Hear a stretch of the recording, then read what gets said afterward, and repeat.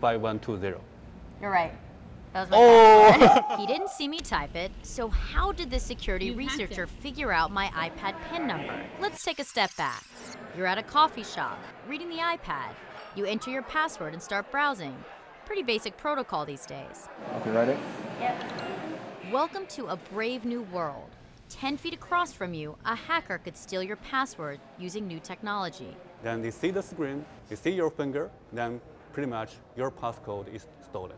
Using Google Glass or any other recording device like cell phone video, security researcher Xinwen Fu can crack your PIN. He's developed software that can break down hand movements from video. You type, he records. Doesn't matter if there's a glare. Doesn't even matter if he can't see the screen. The process is now easier by the rise of wearable tech, which makes it simple to discreetly record hand movements. The Google Glass is on your head, mm-hmm. so people can easily adjust the angle. Here's how it works. If we know position finger, then we know the, the position of finger on the keyboard. We call that touch point. Then we can actually map this touch point to a reference keyboard. Then we get your key. We put it to the test using the same device Xinwen used when he was developing his software Google Glass. We put them on a robot and then a real world attacker. Each tried to hack us. So you have just analyzed Yes. the data that you guys took via Google Glass. Yes. You are far you assure me that you didn't see the actual numbers I was No. typing in. No. But you say that you have my passcode. Yes. All right, hit me with it. He told me it could take him two guesses.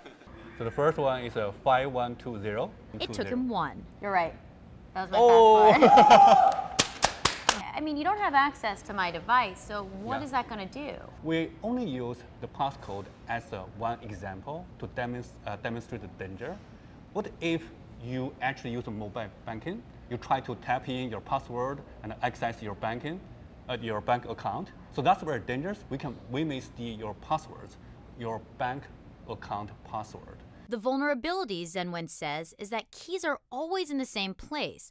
There are tools for randomizing the location of keys on a keyboard, and that would make something like this impossible.